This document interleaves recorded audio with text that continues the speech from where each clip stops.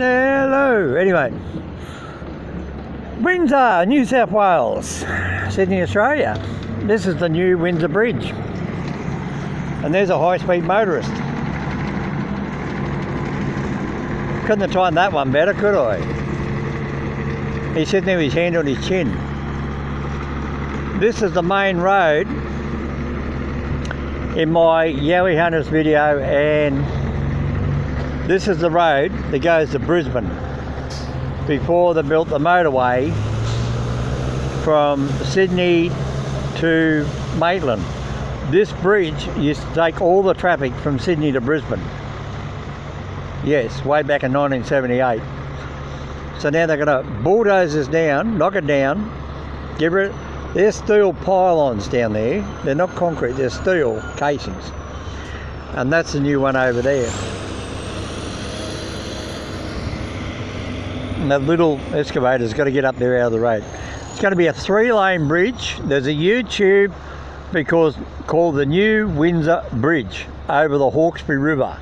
It's brought up by the New South Wales government. You go and have a look at that. It's an animation. It's going to have three lanes. Right.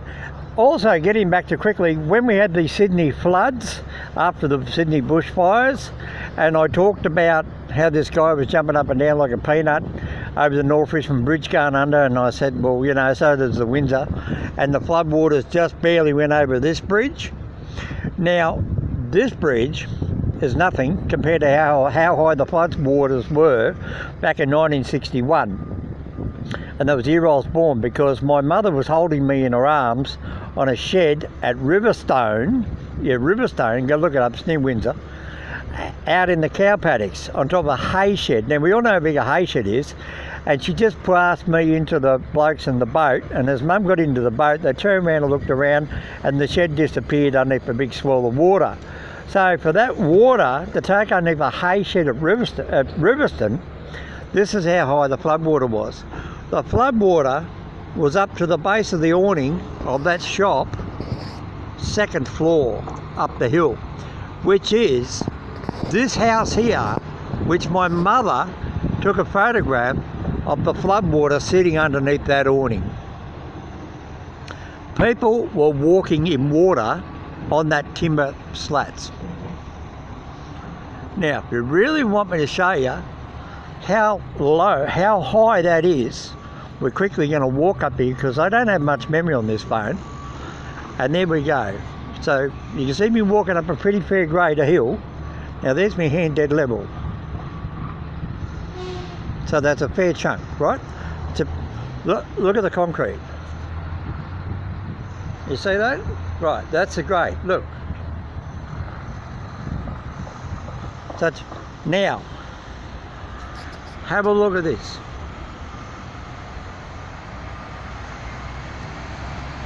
See the top left hand corner of the building? And look where the water level is. Now that water went as far out as there as eye can see, which is that green, green hill way over there in the distance.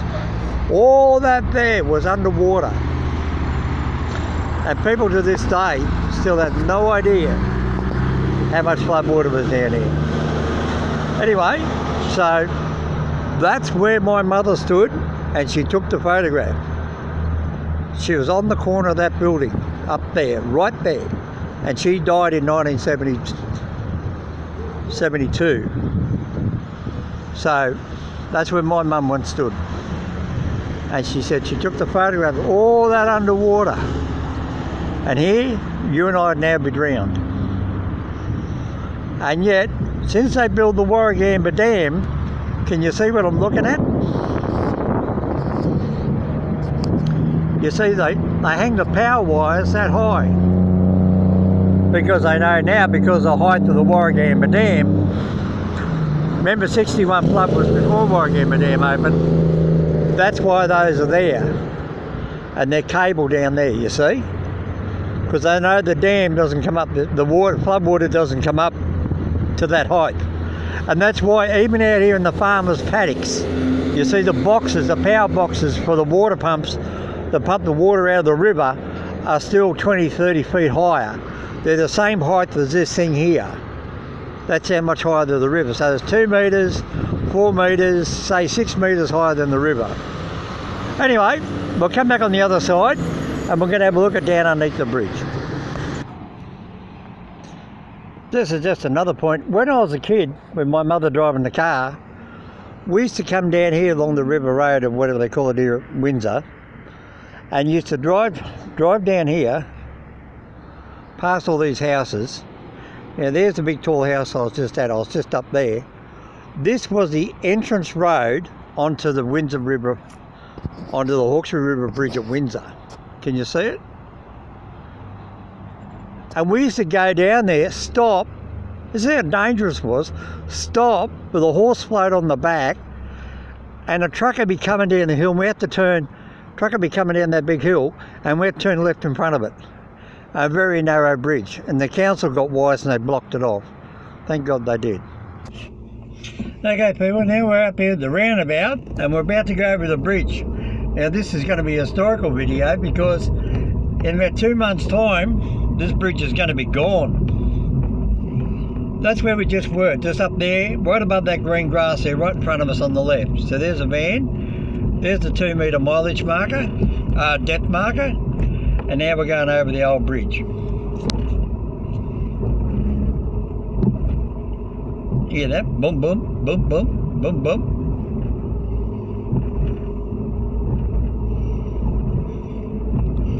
And then we're going to go left into Macquarie Park, and I'll come back down to you at the bottom, down on the river. All right? So it won't be a minute. I'll come back to you.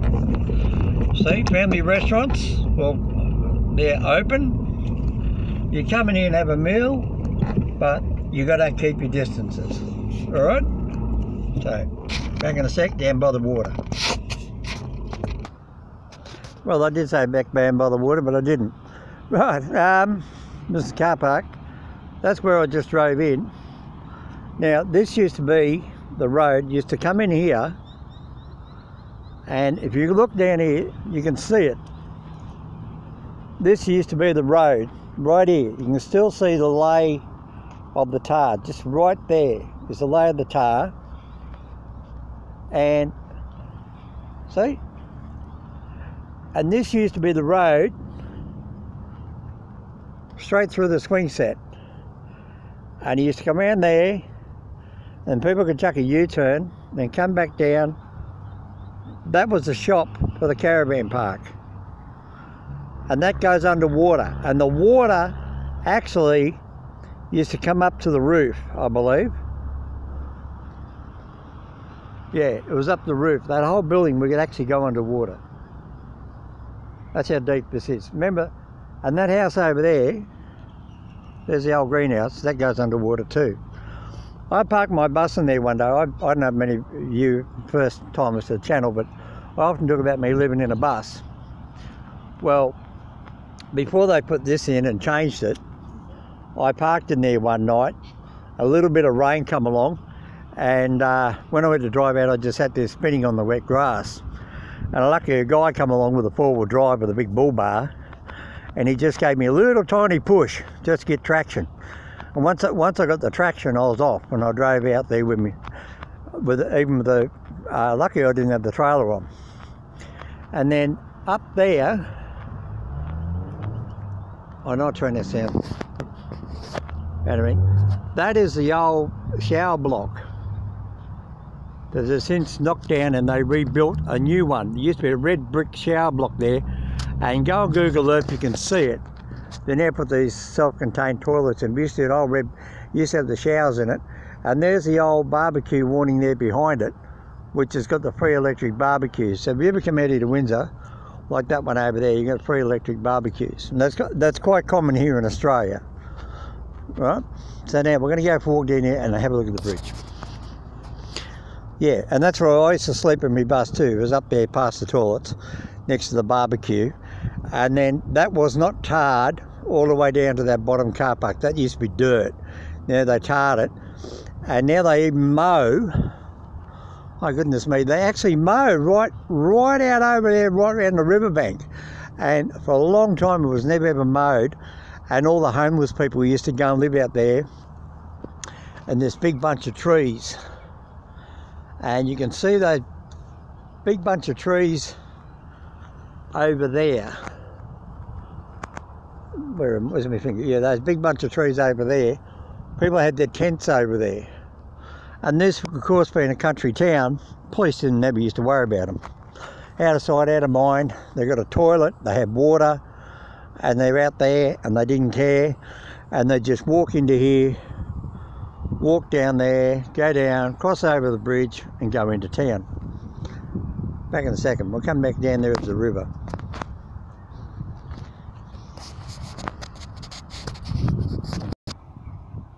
Oh, there we go. There's the old Windsor Bridge, right next the new Windsor Bridge. Let's have a look. Now, you're wondering how big those floodwaters were we had recently here at North Richmond and Windsor. Have a look at this.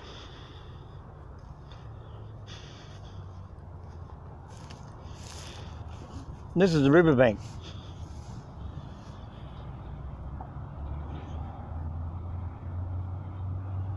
Hey?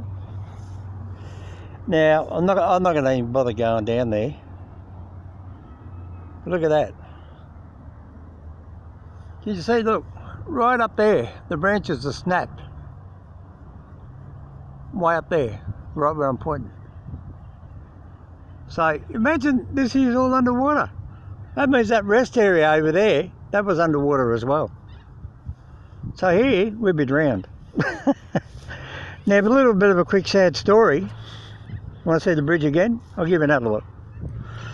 Right, back in 2001, my father ran away because he was dying of asbestosis. And I was homeless living in my bus. And I was 163 kilos. Now, I've told a lot of people about this on my channel. And I'm going to give you one example of where and how and how difficult it was to live. Now, can you see this hill? Right. I'll come back to you. Right on the very hill. Well, this is the lower car park. There's our little white car down there. There's a new toilet block. All this is new under the state government. See, voting aspects improvements, Macquarie Park, Freeman's Reach. Now, what they did not have here when I was here 20 years ago, when I was crippled, and I was 163 kilos, all this was not here, obviously. I'm going to come back and I'm going to show you where I was, where I got stuck. Well, here we are down on the water. So that's new, right? All that there's been built out. I brought my dog, Mara dog, the white Labrador. Everybody's seen a picture of her back on my channel. And I come down here at 163 kilos. And I forgot, because remember I said to people about my crippled legs and I'm going into surgery? This is what I'm talking about. See that? That's my muscle there. That should not be there. All that there is deformed. And I was 163 kilos. And I had to get up that hill. Let's have a go now.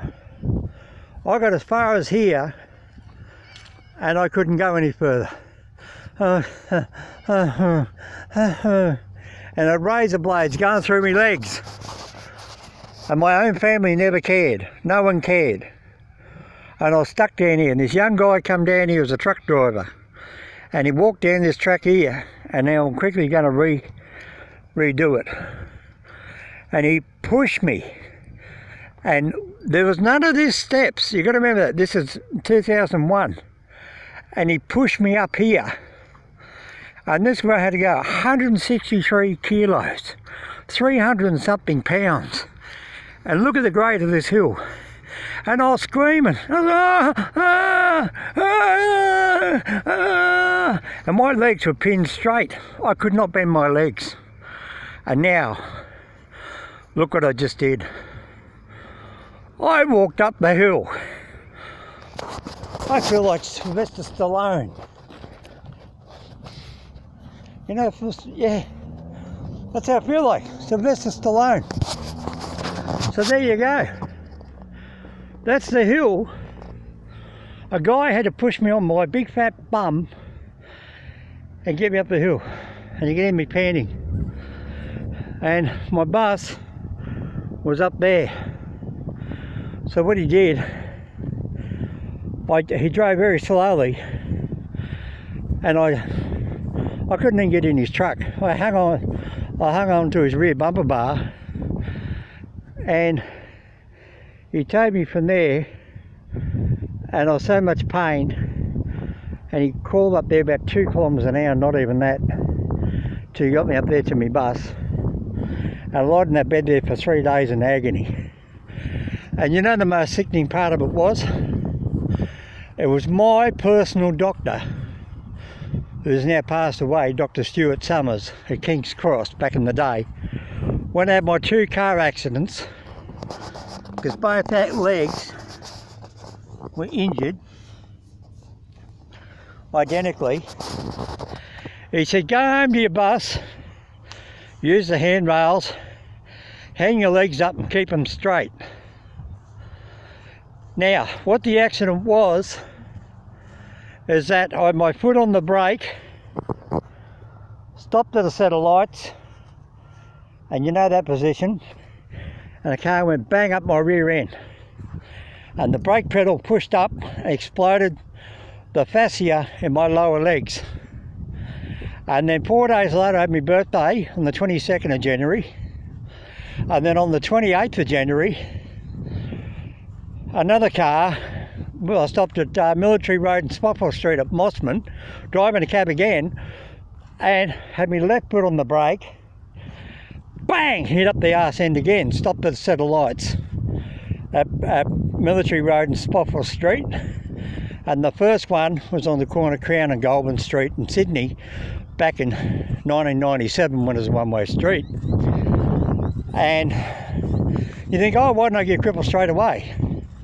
No, it didn't work like that. Because when the doctor told me to go home and put my legs up, hang them up, 20 years later, when I talked to Dr.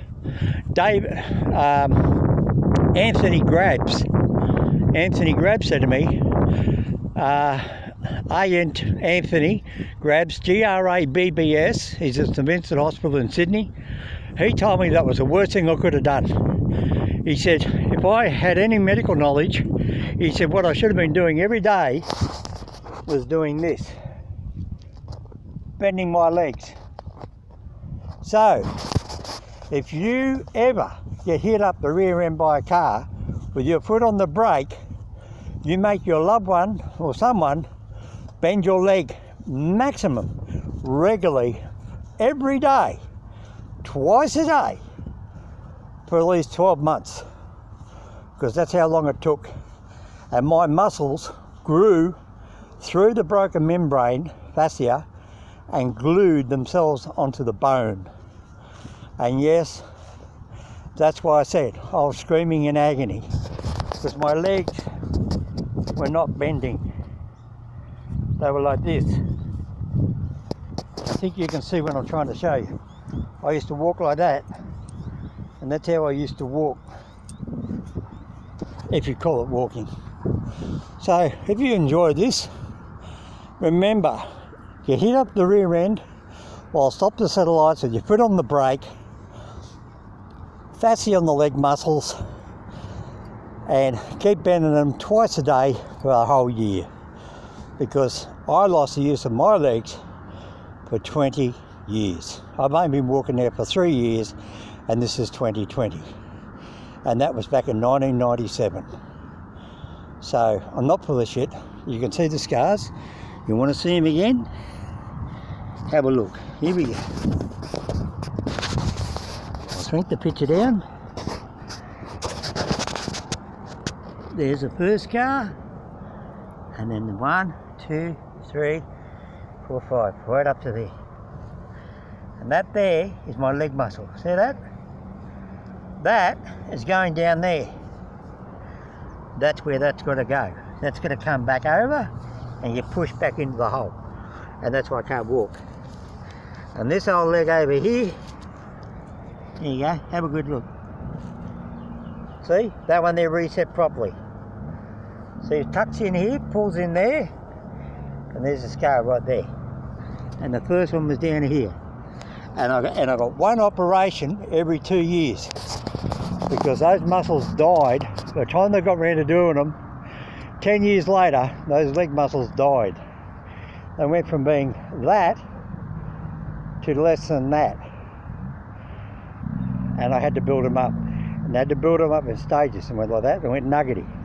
And then it went like a stick and they built it up again and they freed up the next bit. Built them up like bricks. You'd have a brick with a toothpick. They had to build that toothpick back up the size of a brick. And then the next one was a toothpick and build that up again. You couldn't do the whole lot at once because it's too wobbly. Be no way for the body to have any sort of you understand what I'm trying to say? Right. You know what I'm trying to say. The muscle needs something to pull on. And if the, and that muscle was so badly stretched, it had nothing to pull on. So therefore then that muscle would not regenerate. So there you go. So I'm a fighter, always will be a fighter. You got to be a fighter, and we're in this horrible situation. So that's the road they're going out to Wilberforce. Ah, sorry, Freeman's Reach, and that's the road they're going to Wilberforce. We're in this horrible situation all around the world with the with the thing. But look, people are still going out, just keeping your distances. See, the swings are blocked off. And there goes another dickhead. Oh, don't you love him? Anyway, from me, Mr. Hominoid, thumbs up. God bless. Take care. And uh, hope you enjoyed that. You learned something a bit of my tragedy in my life. Down there, parked in the bus, went down the hill, got stuck on the riverbank. I sat there for three hours till this guy showed up. I couldn't get up the hill. Even the dog couldn't get me up the hill. He had physically put his hands on my ass, my big ass. And I think, go back at my videos, how big was a hominoid? How big is how big was a hominoid? Go and look how big it was and you try and picture me walking up that hill. How big is a hominoid? Go back down my channel, have a look at the have a look at the video. You see how big my backside was. And that was that was a couple of years after that photograph was taken, my legs even got bigger. And straight sorry, not bigger, but more stiffer. So you anyway. Past is the past, move on, let's be happy. We've got this virus to take care of. Be safe, take care love and look after your friends, hand gels, practice safe sex, drink responsibly. Well, you can't gamble at the moment because all the pubs and clubs are locked down. So even online gambling, oh, you can on, online gamble. So gamble responsibly and look after yourself. And from Mr. Hominoid here at Windsor, New South Wales in Australia, down under, thumbs up, give me a like and subscribe. Leave me a comment. If anybody wants some of those keychains of kangaroos and koala bears and Sydney Opera House, Sydney Harbour Bridge, or anything to do with Sydney keychains, give me, give me, give me, a, give me a comment and uh, give me a call on M Hominoid, M Hominoid on Facebook. So from down under, g'day mate, see you later.